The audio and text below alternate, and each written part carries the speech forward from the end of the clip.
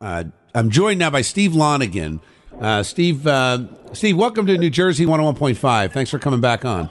Hey, good morning, Bill. So, Steve, you are the New Jersey head of the Ted Cruz for President campaign. You've run for the U.S. Senate. You've run for governor. You were the mayor of Bogota. You've got Jersey roots. Um, tell me a couple things. Number one, I don't know if you saw that article about Governor Christie, but is there any chance in your mind that if Ted Cruz were to be the nominee of the Republican Party, would Chris Christie be a viable vice presidential candidate? Uh, I would doubt it. I don't, I don't. I really wouldn't see that happening. But I could. See, well, first of all, it's going to be interesting to see where Governor Christie goes now, who he's going to endorse. You know, coming out of his race, because um, I think he could influence some votes.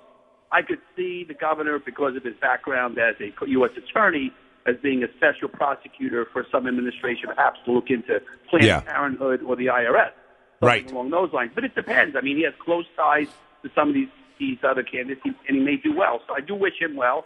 Uh, I think he ran a great race. I think all of us, even on Ted Cruz's chairman, are disappointed to see our hometown guy, you know, drop out. Steve, And can I I- will tell you, I will Yeah, tell ahead. you that I, I saw the governor at CNN over the weekend. I was up in New Hampshire volunteering for the campaign, Yeah. and I congratulate him on the remarkable job he did of, of uh, ripping Marco Rubio to pieces. and that's it. I will tell you, at the Clinton headquarters, this is the first time I've seen an opposition candidate cheering for another candidate debate. That's Yeah.